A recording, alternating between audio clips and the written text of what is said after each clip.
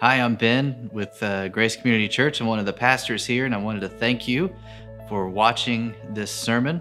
I pray that it serves you well, that it will help you grow in your understanding of God's Word, the Bible, that it will deepen your love for Christ and help you to pursue holiness in your own life.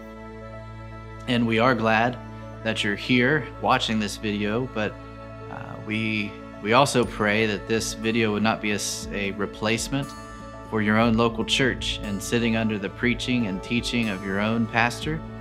Uh, but we do pray that it, it helps you, that it edifies you. If you have any questions about this sermon or our church in general, feel free to visit our website, gracecommunitychurchberea.com, and hit the contact us button. We'll be happy to help you in any way that we can. And may God be glorified through your listening to this sermon. In our recent study of Paul's letter to the Philippians, I spent several weeks endeavoring uh, to do my best to carefully lay out the importance of unity among God's family. And one of the many things that we've learned during the pandemic is the fragile nature of unity.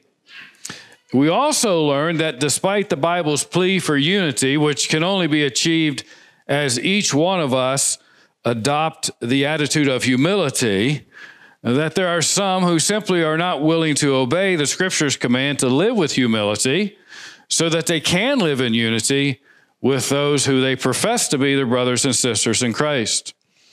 And as we learned in our study of Philippians, which, Lord willing, I will return to next week, the Apostle Paul understood the absolute necessity of God's people living in unity. I said, well, why is unity so important? Why is it stressed so much in the New Testament? Well, our unity or lack thereof is a direct reflection of the gospel. As we live together in unity, the gospel is adorned and God is glorified. And because God's glory is at stake, Paul uh, labor diligently to help us understand that we need to make whatever adjustments or sacrifices are necessary in order to protect and promote unity among God's people. And I will remind you again the goal of unity is the glory of God.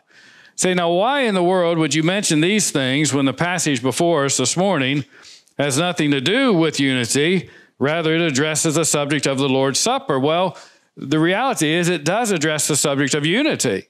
It directly ad- addresses the subject of unity. I bring this before you this morning because Paul is concerned that the manner in which the Lord's table or the Lord's uh, uh, uh, supper was being handled by some of those in the church of Corinth, they were handling it in such a way that it was literally threatening the unity of the church. So, therefore, as he begins this section of his letter to them, he highlights the abuses of the Lord's Supper that had been taking place in the church. And these abuses, again, held the very real potential of creating unnecessary division among the people of God. Notice what Paul says in verse 17, but in the following instructions, I do not commend you because when you come together, it is not for the better, but for the worse. Why does he say that? Because there were those in the church who were, through their actions, through their conduct at the Lord's Supper, they were actually abusing it.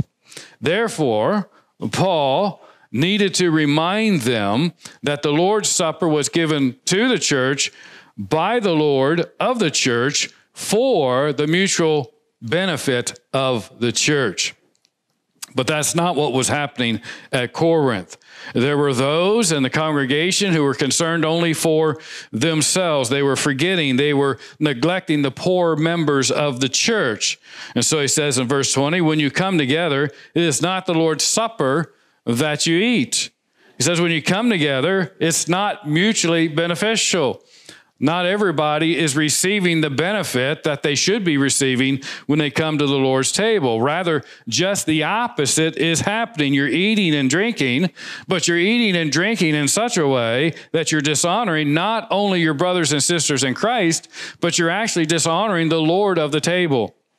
Look at verse 21 for in eating for in eating each one goes ahead with his own meal one goes hungry another gets drunk What's going on here? They, they were completely missing the point of the Lord's Supper. When Jesus, what Jesus had designed for their good was being so misused and abused that it was actually causing harm to those to whom should have been benefiting from it.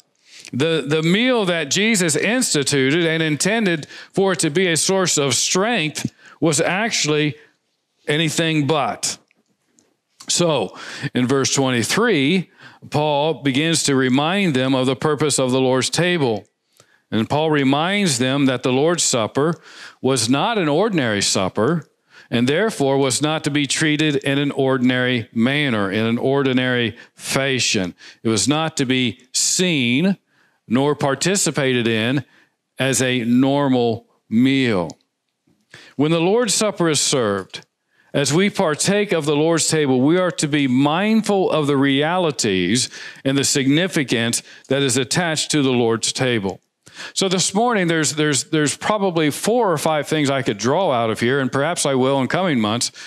But there's just one thing that I want to highlight this morning that uh, we need to pay particular attention to when we come to the Lord's table. But let's just begin with just some basic information. What is the Lord's table? What exactly is the Lord's Supper? Well, the Lord's table is a vis- visible proclamation of the gospel for both the sinner and the saint.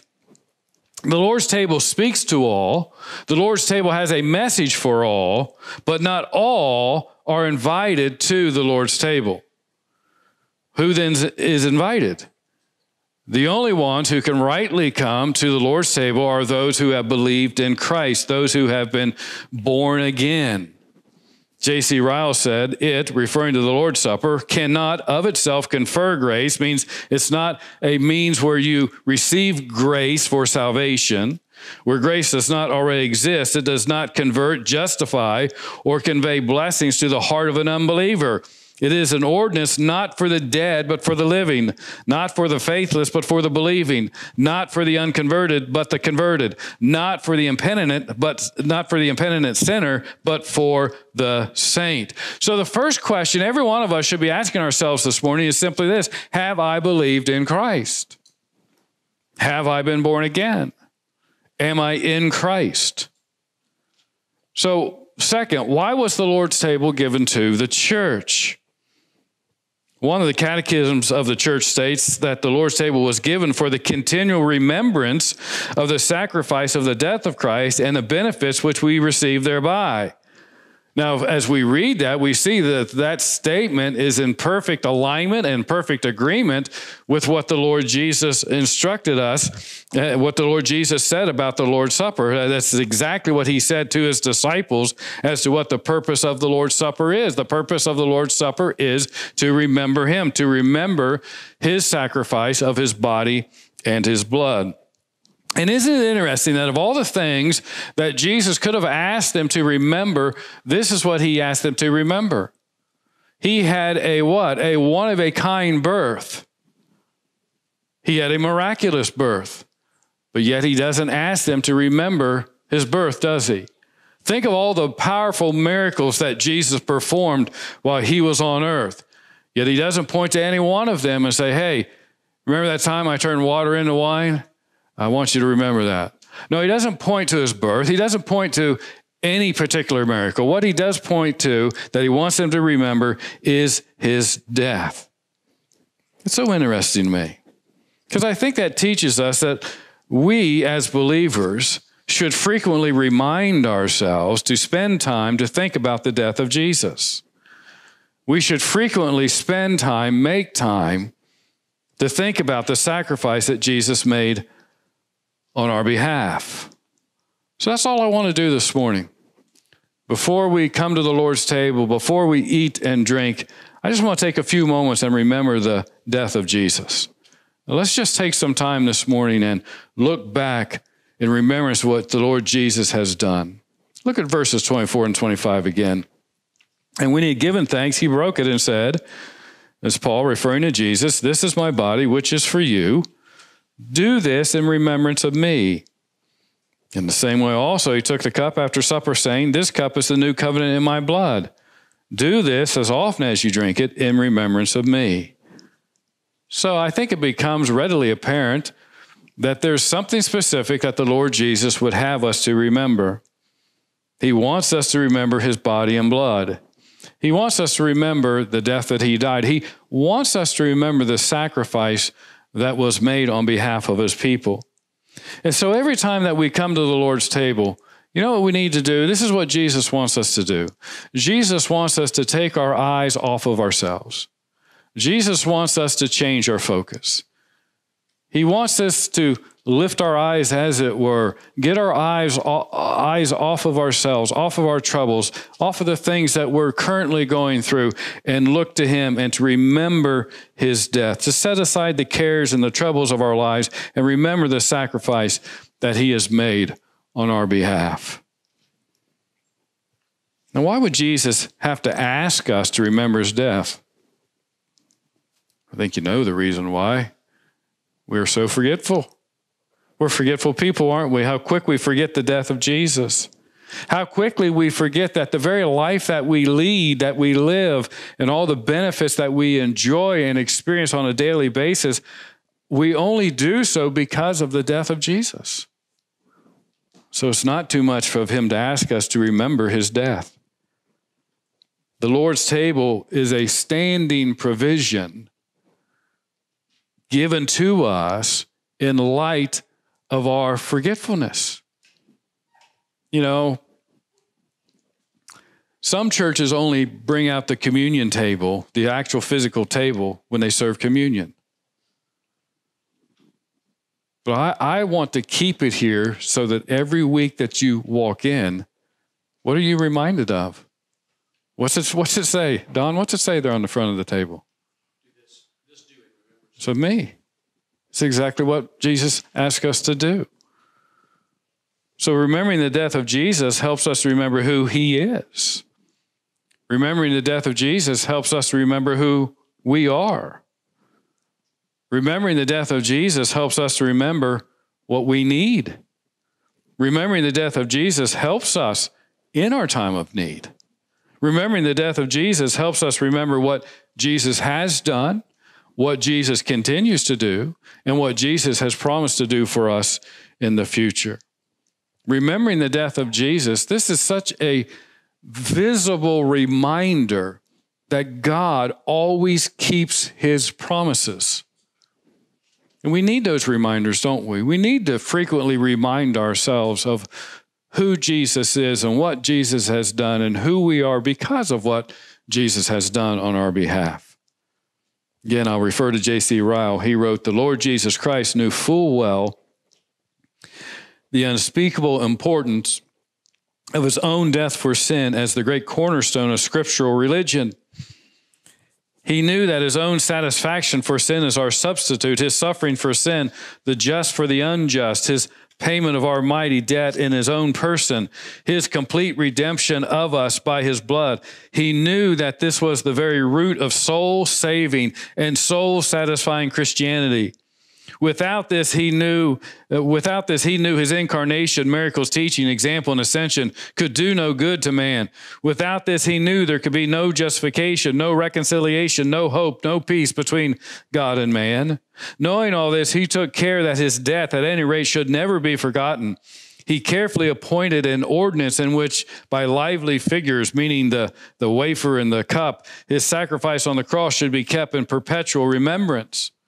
He goes on to say, therefore, he did not merely leave them promises on which their memories might feed and words which they might call to mind. He mercifully provided an ordinance in which true faith might be quickened by seeing lively emblems of his body and blood, and in the use of which believers might be strengthened and refreshed. The strengthening of the faith of God's elect in Christ's atonement was one great purpose of the Lord's Supper.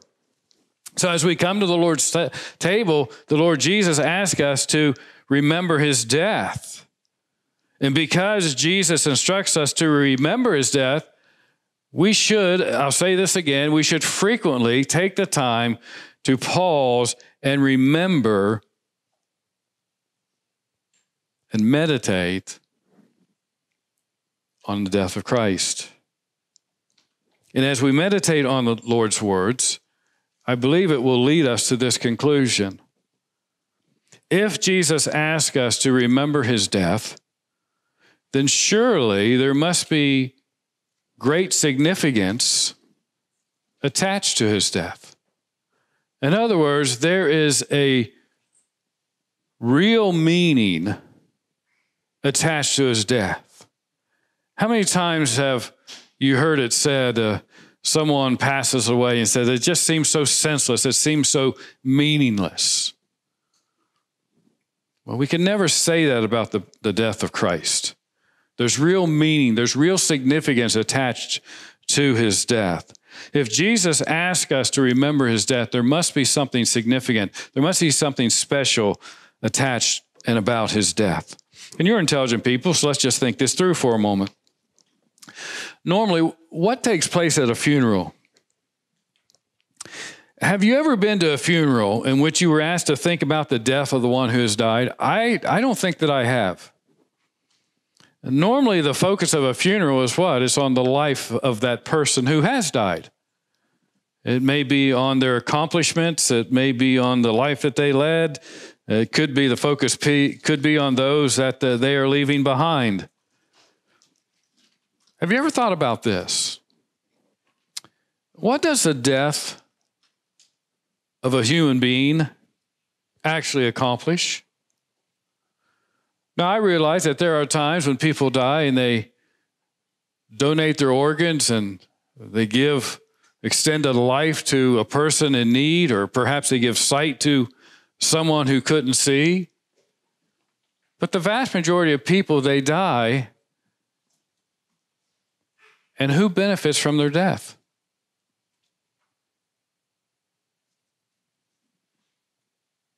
Very few. But when Jesus died,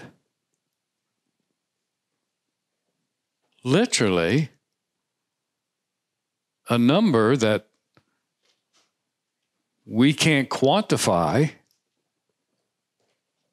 has benefited, will benefit, and will continue to benefit throughout eternity. That's a special kind of death. Do this in remembrance of me. My death had meaning. My death has impact. My death needs to be remembered.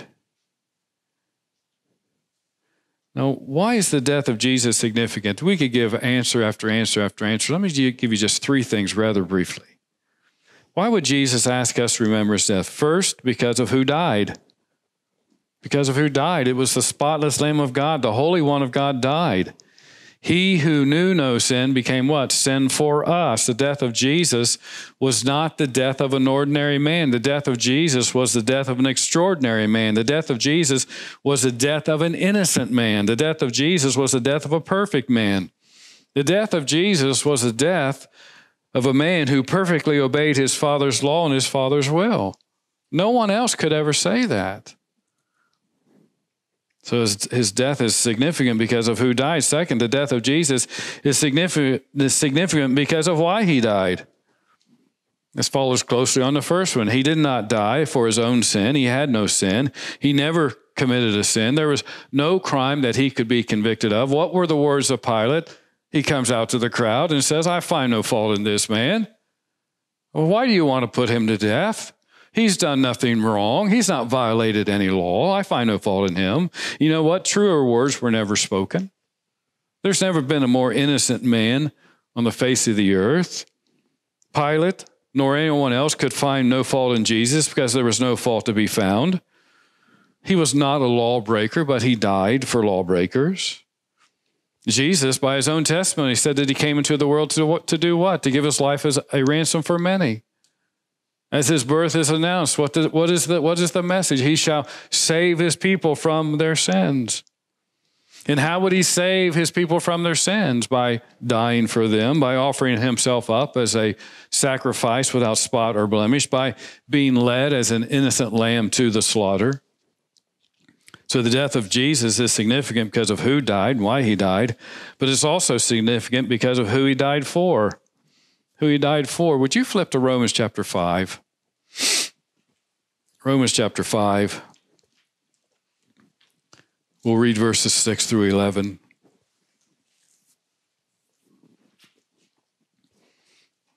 Paul writes, For while we were still weak, at the right time, Christ died for the good. Is that what it says? The ungodly. For one will scarcely die for a righteous person, though perhaps for a good person one would dare even to die. But God shows his love for us in that while we were still sinners, Christ died for us. Since therefore we have now been justified by his blood, much more shall we be saved by him from the wrath of God. For if while we were enemies, we were reconciled to God by the, what's it say, the death of his son? Much more now that we are reconciled, shall we be saved by his life. More than that, we also rejoice in God through our Lord Jesus Christ, through whom we have now received reconciliation. Christ died for the ungodly. Jesus died for the home wrecking prostitute he met at the well. Jesus died for lying Abraham. Jesus died for Peter, who denied him three times. Jesus died for a self righteous Pharisee named Paul. Jesus died for liars, adulterers, and thieves. Jesus died for those who broke every law in his book. Jesus died for sinners. And who amongst us couldn't agree with the Apostle Paul that, like him, we are the chief of sinners? We're prideful, we're arrogant, yet Christ died for the prideful and the arrogant. Jesus died for the self righteous. Jesus died for sinners. Jesus died for people like you. Jesus died for people like me. So the death of Jesus is significant because of who died, why he died, and also because who he died for. Jesus died for sinners.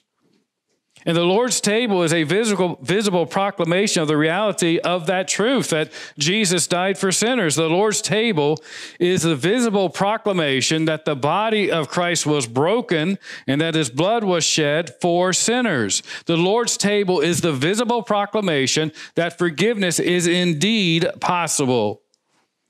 The Lord's table is the visible proclamation that the gospel encourages us, that strengthens us that despite the hell raging all around us, that we are loved, that we are protected, that we are under his watchful care. The Lord's table reminds us of our salvation, our justification, our adoption, our sanctification, our glorification, that eternal weight of glory that awaits us. And so Jesus does what? He invites us to the table. Jesus invites us to come to his table to be served, to be strengthened, to be refreshed. But all of those benefits are only for those who have believed in Christ.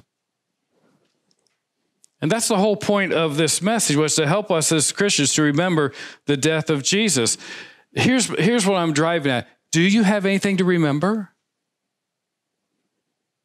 Do you have anything to remember? And by that I mean, have you believed on the Lord Jesus Christ? Over and over again, God cries out in the pages of Scripture. He cries out to every sinner that we what? We must be born again, that we must be saved. And how is one saved? How is one born again? You know, the Philippian jailer asked Paul that same question. And Paul's answer is so simple that I'm afraid we overlook it. And we want to try and tack something onto it and say, Paul, it can't be that simple. But here's the greatest theologian in the history of the church. And this man says to him, What must I do to be saved? And what does Paul say? Well, listen, you got to clean up your act. Make sure you're not cheating on your taxes. Uh, make sure you're doing everything by the book. You know, just work a little harder. You know, be a little bit more spiritual. Did Paul say anything like that? No, he doesn't say anything like that. Paul says we got to go get baptized first, and then we'll talk about it. No, he doesn't say anything like that. Paul says what? Believe in the Lord Jesus Christ, and you will be saved. Listen, I'm not discounting the need for repentance. But I wonder sometimes are we putting the cart before the horse? Believe. The biblical command is believe. And you know what follows belief? Repentance and faith.